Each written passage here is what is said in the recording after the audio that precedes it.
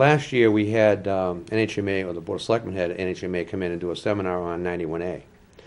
A portion of that uh, presentation was a discussion on minutes. And the essence of it, and I have a video if you want to play it, it's about four minutes.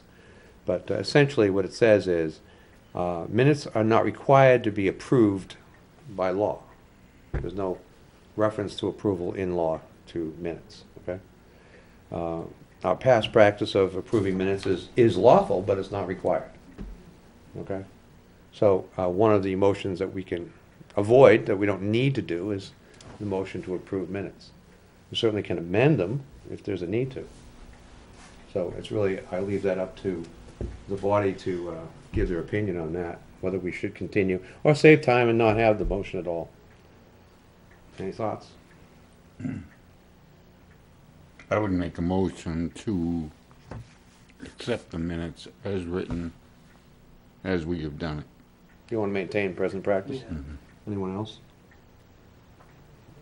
I'd like to make a motion to, you know, expedite our meeting process by eliminating the vote to approve the minutes. Mm-hmm. Mike? Well, we, we discussed this a little bit. Um, If somebody has something in the minutes that they would like to change, or that they didn't say, or some, some glitch, then certainly we should Mhm. let them bring that up and, and have it amended so that they can have the right language in there.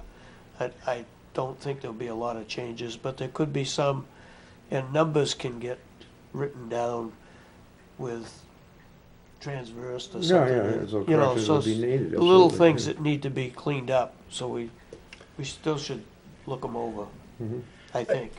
Brian? I, I kind of like that approach because it's one thing for approval, but you're talking about a historical record. So if there are changes to be made, I'm all for moving things along. I mean, I think I've watched all the meetings, right? So if there are questions on minutes, which doesn't seem to be that many, but if there are, I don't think it's going to take that long. Say, Mr. Chairman, can we amend sentence whatever, to- Whatever.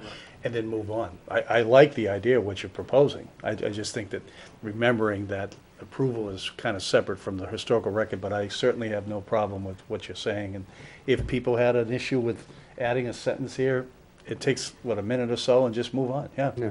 I agree. I think the same amount of time is spent just approving the minutes. I agree. Because Yeah. it is public document, Right, Yep, and so, I mean, yep. what does it take us?